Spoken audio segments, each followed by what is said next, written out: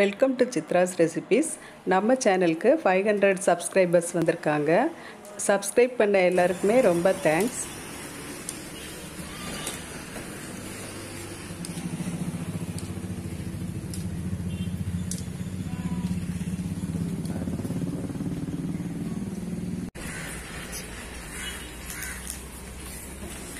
அழகா இருக்குல்ல? முன்னாடி வந்துருச்சு. இன்னைக்கு காலையிலேயே செம்மறி ஆட்டு கூட்டம் நல்லா உற்சாகமாக துள்ளி குதிச்சுட்டு வீட்டு முன்னாடி போகுது. இதை பார்க்குறதுக்கே ரொம்ப ரம்மியமாக இருக்குது இன்னைக்கு வீடியோவில் நம்ம சாம்பிராணி புகை எப்படி போடுறதுன்னு பார்க்கலாம். வாங்க. சாம்பிராணி புகை போடுறதுக்கு ஒரு தேங்காய் தொட்டியும் ரெண்டு சூடகமும் இருந்தால் போதும்.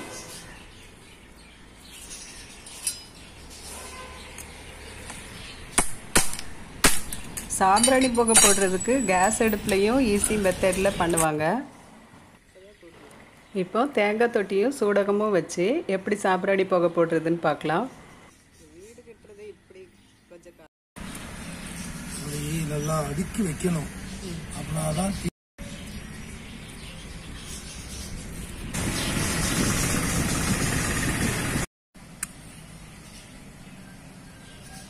காத்தடிக்கும் போது அணையாமல் இருக்கிறதுக்காக தேங்காய் தொட்டியை இந்த மாதிரி அடுக்கி வச்சுக்கணும்.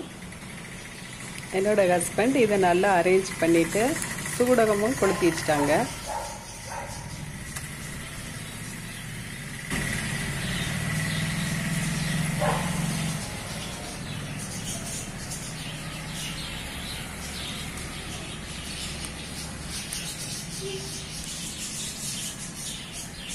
இப்போ பிரியாணிக்கு தம் போடுறதுக்காகவோ இல்லை வேறு எதுக்காகவோ நம்மளுக்கு தணல் தேவைப்பட்டால் கொஞ்சம் மண்ணெண்ணெயை ஊற்றினோன்னா ஈஸியாக பற்றிக்கும் ஆனால் சாமி கும்பிட்றதுக்கு நாம் வந்து தணல் ரெடி பண்ணுறப்போ சூடகம் தான் யூஸ் பண்ணணும். மண்ணெண்ணெய் யூஸ் பண்ணக்கூடாது.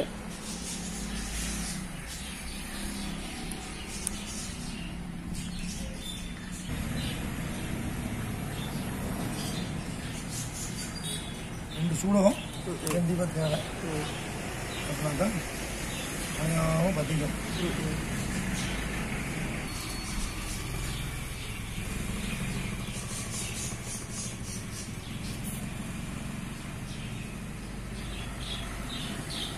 ரெண்டாவது சுட சொன்னே தான் வேகமாக இருக்குது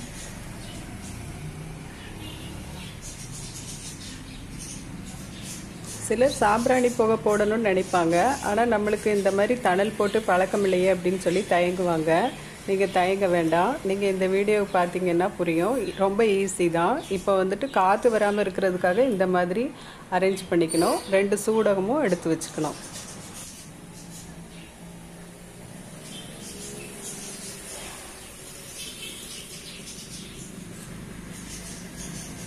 நீ இப்படி பிடிச்சிக்கிடுமோ? சூடகம் கொஞ்சம் இருக்கு. காவாசி அதான் போச்சு சட்டை பிடிச்சிருக்கோம்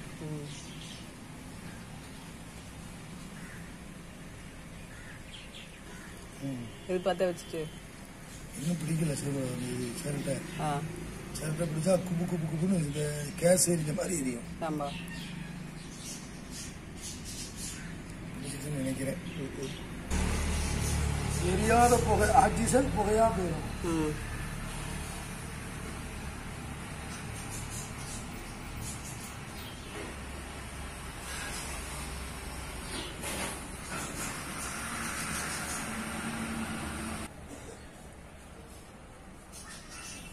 நல்லா குபு குபுன்னு வேகமா எரியுது சிரட்டை பிடிச்சிட்டு அப்படியே எரியும். ம்.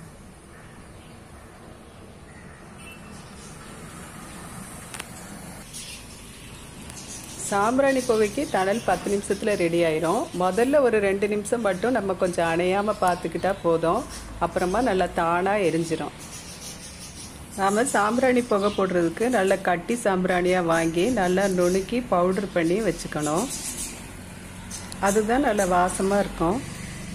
இப்போ நமக்கு தணல் ரெடி ஆயிடுச்சு. நீ சாம்பிராணி போட்டுற வேண்டியது தான் நாம் கம்ப்யூட்டர் சாம்பிராணி போடுறதை விட இந்த மாதிரி சாம்பிராணி புகை போடும்போது வீடே நல்லா வாசமாக இருக்கும். கோவிலுக்கு போன மாதிரி மனசுக்கு ஒரு அமைதி கிடைக்கும். அநேகமாக நிறைய பேர் எப்போவுமே வாரத்தில் ஒரு தடவை சாம்பிராணி புகை போட்டுட்டு தான் இருப்பாங்க. சிலர் வந்து நமக்கு போட தெரியாது அப்படின்னு நினச்சிட்டு இவ்வளோ நாள் போடாமல் இருந்திருப்பீங்க. இப்போ நீங்கள் இந்த வீடியோ பார்த்ததுக்கப்புறமா சாம்பிராணி புகை போடுறது எவ்வளவு ஈஸின்னு சொல்லி உங்களுக்கு தெரிஞ்சிருக்கும். நீங்களும் இதை கண்டிப்பாக ட்ரை பண்ணுங்கள் மனசுக்கு ஒரு பாசிட்டிவ் வைப்ரேஷன் கிடைக்கும். அதை கண்டிப்பாக ஃபீல் பண்ணி பாருங்கள் இந்த வீடியோ உங்களுக்கு பிடிச்சிருந்தா லைக் பண்ணுங்கள் ஷேர் பண்ணுங்கள் கமெண்ட் பண்ணுங்கள் மறக்காமல் சப்ஸ்கிரைப் பண்ணுங்கள் தேங்க்ஸ் ஃபார் வாட்சிங்